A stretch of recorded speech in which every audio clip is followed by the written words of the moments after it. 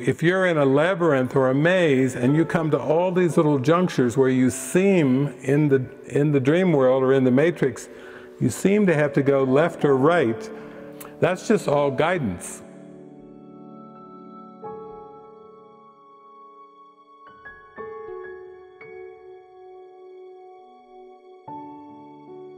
When you give yourself over to the Spirit and you just say, Take me, lead me, guide me, you'll be guided exactly where to go, what to say, what to do. You'll get more intuitive about that.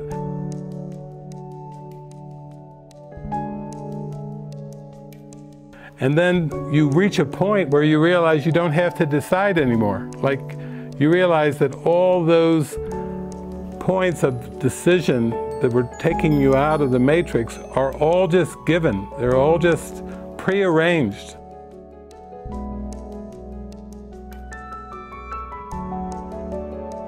It was all for the escape. It was all for the forgiven world. It was all for the happy dream.